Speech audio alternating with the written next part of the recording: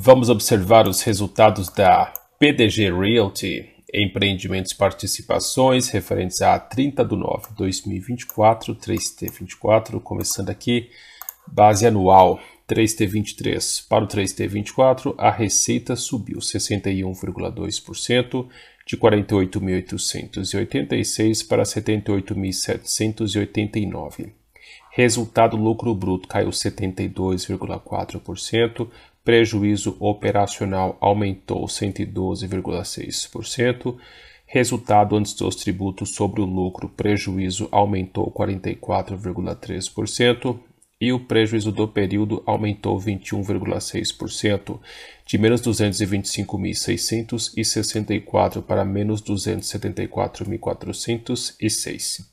Margem bruta, variação negativa, menos 55,53 pp de 67% para 11,48%.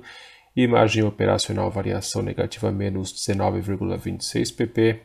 E a margem líquida aqui, variação positiva, porém bem negativa ainda, hein? Do 2T24 para o 3T24, base sequencial trimestral, a receita ganhou 190,3% de 21.143 para 78.789. Resultado bruto aqui, prejuízo bruto para um lucro de 9.042, prejuízo operacional aumentou 144,8%, Resultado antes dos tributos sobre o lucro, um prejuízo também aumentou 396,8%, e o prejuízo do período aumentou 299,2%, de menos 68.743 para menos 274.406. Margem bruta, variação aqui 35,17 pp, de menos 23,69% para 11,48%, e margem operacional líquida bem negativas aqui. Vamos ver alguns detalhes aqui na DRE resumida do 3T23. Para o 3T24, a receita ganhou 61,2% e os custos aumentaram 332,4%.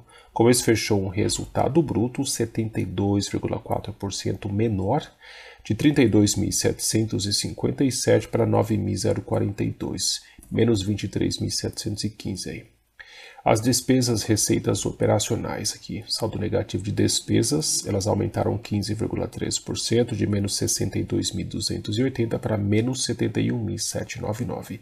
Como isso fechou um prejuízo operacional 112,6% maior, de menos 29.523 para menos 62.757 com o resultado financeiro líquido despesas financeiras que aumentaram 34,5%, fechou o resultado antes dos tributos sobre o lucro aqui um prejuízo 44,3% maior de menos 233.879 para menos 337.515. Com o imposto de renda e contribuição social dando uma ajudinha aqui, especialmente 3T24, fechou prejuízo menos 228.294 para menos 274.537, um aumento de 20,3%, e atribuído aos sócios de menos 225.664 para menos 274.406, aumento de 21,6%. Vamos ver alguns indicadores aqui. Prejuízo por ação, últimos 12 meses, 73 centavos. Valor da ação utilizado para os cálculos, um centavo e o PL está em 0,01. PSR aqui 0,15, apesar de positivo aí o PL, bem baixinho, positivo, porque o 4T23, vamos chegar lá, ele teve alguns números ali positivos, observamos que teve um lucro aqui no 4T23, obviamente um lucro não operacional, então, depois disso, está tudo negativo aqui, né? Então, este 4T23, como ele está ainda no cálculo aqui para os indicadores, ele está salvando os indicadores, mas quando o 4T23 sair da jogada aí, no próximo trimestre, já não fará mais parte aí dos cálculos, vai dar um baque bem negativo aqui nos indicadores, hein? Então o PVP está em menos 0,01, já que está com um valor patrimonial por ação negativo aqui, menos R$ 1,86, com patrimônio líquido negativo, menos 3.242 mil.